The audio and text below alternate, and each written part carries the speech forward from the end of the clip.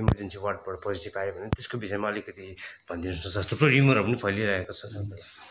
First of all म तपाईँ सबैलाई थ्याङ्क यू भन्न चाहन्छु। यहाँ आइदिनु भयो यति सर्ट नोटिसमा र यो कुरा चाहिँ हामीले फिल गर्दा यो हामीले अलिकति तपाईँहरूको थ्रुबाट अलिकति मेसेज गएर पनि अलिकति प्यानिकै पनि हुन्छ होला। मान्छेहरूमा मिसअन्डरस्ट्यान्डिङ पनि हुन्छ जस्तो लागेर चाहिँ मैले तपाईँलाई रिक्वेस्ट गरेँ आइदिनुहोस् भनेको।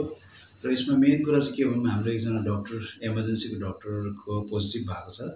र अब के एज पर प्रोटोकल हामीले पोजिटिभ भएपछि चाहिँ उहाँ डक्टरहरूलाई हामीले क्वारेन्टिन पठाउनु पऱ्यो र उहाँको कन्ट्याक्ट्सहरू पनि सबलाई क्वारेन्टिनमा राख्नु पऱ्यो र अब इमर्जेन्सीमा त अब कन्टेन गरिहाल्नु पऱ्यो गर्दाखेरि कन्टेन गर्नु मतलब चाहिँ अब कुनै नयाँ पेसेन्ट आउनु भएन। र गर्दा अब हामीले चाहिँ के पारा मिलाएको छौँ भने हामी इमर्जेन्सी चाहिँ अब एटलिस्ट फर वान विक त पक्का बन्द गर्नु पऱ्यो हामीले इमर्जेन्सी र हामीले मणि मणिपालको सिआरएसको एमएससँग कुरा गरेर अहिले हामीले पनि काट्नु लगाइरहेको छौँ। सिआरएसको मेडिकल सुपरिन्टेन्डेन्ट रिक्वेस्ट गरेर चाहिँ at least for this one week डल्लै चाहिँ उहाँले इमर्जेन्सी सब कभर गरिदियोस् भन्ने हामीले उहाँलाई रिक्वेस्ट गरेको छौँ। र उहाँले त्यो अनुसार एन्टिजेन टेस्ट गरेर चाहिँ नेगेटिभ भएकोलाई ट्रिटमेन्ट गर्छ भनेर हामीले अहिले इमिडिएटली एक सौवटा एन्टिजेन पनि हामी उहाँलाई प्रोभाइड गर्दैछौँ ताकि कुनै पेसेन्ट आएको उहाँलाई पहिला एन्टिजेन गरेर मात्रै एडमिट गर्ने भनेर भनेर हामी त्यो पनि मिलाइरहेको छौँ। र अब युजली के हुन्छ भने अब जुन चाहिँ इमर्जेन्सी जुन चाहिँ आउनेवाला छ उहाँहरू चाहिँ हामी नआउनु भन्दैछौँ। तर जुन चाहिँ पेसेन्ट अलरेडी भित्र छ इमर्जेन्सीभित्रमा त्यो त हामीले छुट्टी गर्नु सक्दैन। र उहाँहरूले चाहिँ हामी इमर्जेन्सी पेसेन्टसँग नै कन्टेन्ट गरेर भित्र राख्दैछौँ। र जुन चाहिँ इमर्जेन्सीमा पोस्टिङ भएको तिनजना डक्टरलाई हामीले एनएक्सी बिल्डिङमा जस्तो आइसोलेसनको ड्युटीमा बस्नुहुन्छ। त्यसै भएर तिनजना डक्टर चाहिँ हामी आइसोले एनएक्सी बिल्डिङमा राख्दैछौँ। र त्यहाँको अरू स्टाफहरू सबैलाई हामीले यात्री निवासमा राख्दैछौँ। राखेर उहाँले त्यहीँबाट आएर इमर्जेन्सीमा एटेन्ड गरेर इन्डोर पेसेन्ट जति पनि छ इमर्जेन्सीको उहाँले त्यहीँबाट आएर ट्रिटमेन्टहरू सब गर्नेछौँ। यो होइन कि हामी इमर्जेन्सीभित्र भएको पेसेन्ट सबै डिस्चार्ज गर्नु त्यस्तो छैन। सो उहाँको ट्रिटमेन्ट कन्टिन्यू हुनेछ। उहाँहरू चाहिँ इमर्जेन्सीभित्र नै कन्टेन्ट भएर बस्नेछ। र अर्को कुरा अब इम्पोर्टेन्ट कुरा एक्सपोज भएपछि र उहाँहरू सबैजना चौबिस तारिकको दिनमा एक्सपोज भएको रहेछ। उहाँ जुन चाहिँ डक्टर पोजिटिभ भएकोसँग र गर्दा अब हामीले चाहिँ ट्वेन्टी नाइन्थसम्म हिजो गर्दा ट्वेन्टी नाइन्थ अब थर्टिएथमा हामी उहाँहरूको टेस्ट गर्छौँ। टेस्ट गरेर नेगेटिभ आयो भने त्यहाँदेखि फेरि उहाँहरूको अब फेरि फर्दर केही प्लान हुन्छ। हामीले त्यही पारा गर्नु पऱ्यो र अर्को कुरा अब जुन चाहिँ अब जति पनि नयाँ इमर्जेन्सी केसेसहरू जति हुन्छ उहाँहरू सबैलाई हामीले मणिपालमा पठाउनु पऱ्यो र जति पनि कोभिड सस्पेक्ट पेसेन्टहरू आउँछ जुन चाहिँ अब रुगा मागी लागेको उहाँहरूको लागि हाम्रो फ्लू क्लिनिक अझै पनि खुल्लै छ।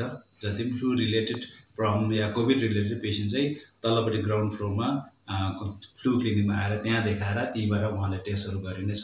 र जति पनि कोभिड रिलेटेड केसेस चलिरहेको हुन्छ खालि यति हो इमर्जेन्सी नयाँ केसेस चाहिँ अब हामीले एसटिएनमा एटलिस्ट फर अहिले यो एक हप्ताको हामीले लिन सक्दैनौँ होला र सबै पेसेन्टलाई म रिक्वेस्ट गर्छु सबैजना इमर्जेन्सी के भयो भने चाहिँ तल सिआरएसमा गइदिनुहोस्। कारण यो तपाईँहरूको सबैको लागि सेफ्टीको लागि हो।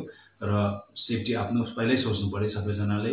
र म यो डिस्ट्रिक्टको जति पनि सिएमओसहरू डक्टर्सहरू जतिजना छ उहाँलाई म रिक्वेस्ट गर्छु एक हप्ताको लागि कुनै पेसेन्टलाई चाहिँ मणि एससिएनमा चाहिँ रिफर नगरेर सबलाई मणिपालमा रिफर गरिदिनुहोस् भनेर।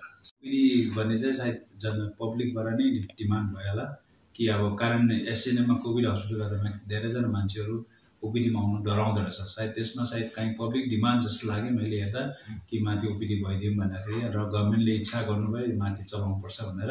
सो हामीले स्टार्ट गर्दैछौँ। जतिसम्म मैले अल्टिमेट सबै डिपार्टमेन्टले दिएको छु। बाई मन्डे चाहिँ ओपिडी चाहिँ माथि सुरु गर्नु भनेर र अहिले ग्रुपमा हेर्दैछु धेरैजना त प्रिपेयर भएर रेडी भयो भनेर पनि आउँदैछ वाट्सएप ग्रुपमा हाल्दैछ उनीहरूले। सो जहाँसम्म हेर्दा मैले हेर्दा मन्डेदेखि चाहिँ ओपिडी माथि हुनुपर्ने हो। र त्यो भयो भने जति पनि यहाँ एसएनएममा जो कोभिड छ भने डराउने मान्छेहरू चाहिँ त्यहाँ आउनु सक्छ। एउटा कुरा हो। तर अब एउटा इम्पोर्टेन्ट कुरा चाहिँ के हो सबै कुरा टेस्ट त्यहाँ हुन सक्दैन। जस्तै अब एक्सरेदेखि लिएर सबैलाई सेयर माथि सेभ गर्नु सक्दैन। रुटिन ब्लड टेस्ट के केहरू त हामी त्यहाँ सेम्पल कलेक्सन सेन्टर बनाएको छौँ। सो त्यहाँ सब कलेक्सनहरू हुन्छ। तर अब मेन जस्तो एमआरआई या सिटी त्यस्तो इम्पोर्टेन्ट इम्पोर्टेन्ट टेस्टहरू गर्नु पऱ्यो भने चाहिँ फेरि तलै आउनु पऱ्यो। तर रुटिन ओपिडी चाहिँ माथि चलाउनु सक्छ।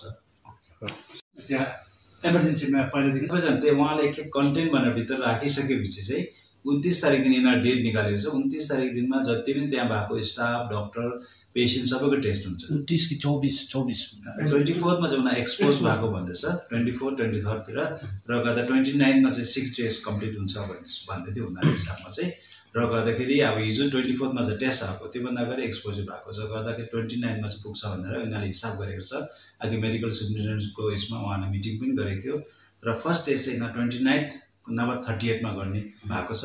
त्यो दिन चाहिँ जति पनि इन्डोरमा बसेको पेसेन्ट इमर्जेन्सीको इमर्जेन्सीको मात्रै अरू सबै वार्डको होइन इमर्जेन्सीमा जति पेसेन्ट एडमिट छ सबैको टेस्ट हुन्छ र जतिजना पनि स्टाफ डक्टर्स नर्सेस जति पनि इमर्जेन्सी पोस्टिङ छ सबैको हुन्छ। सर एक्सपोजर चाहिँ कुन चाहिँ या कुन पेसेन्टबाट भएको भनेर यो आइडेन्टिफाई भइसकेको छ अहिले सर? त्यो चाहिँ एक्ज्याक्टली अस्ति एउटा जस्तै पेसेन्ट अब अलिकति प्रब्लम भएर आउँदाखेरि चाहिँ यिनीहरूले अब कारण यस्तो छ इमर्जेन्सीमा आउँदाखेरि फ्लु क्लिनिकमा हाम्रो त्यो टाइममा बेड थिएन। अब सबै कुरा मैले अस्ति पनि भनेको थियो सबै कुरा हामी नयाँ सिक्दै जान्छौँ कतिवटा कुरा छ। फ्लु क्लिनिकमा सडनली पेसेन्ट गिडिनेस भएर आउँदै राख्ने ठाउँ नहुँदै यिनीहरूले इमर्जेन्सी पठायो। त्यो पेसेन्ट पछाडि पोजिटिभ आएको थियो।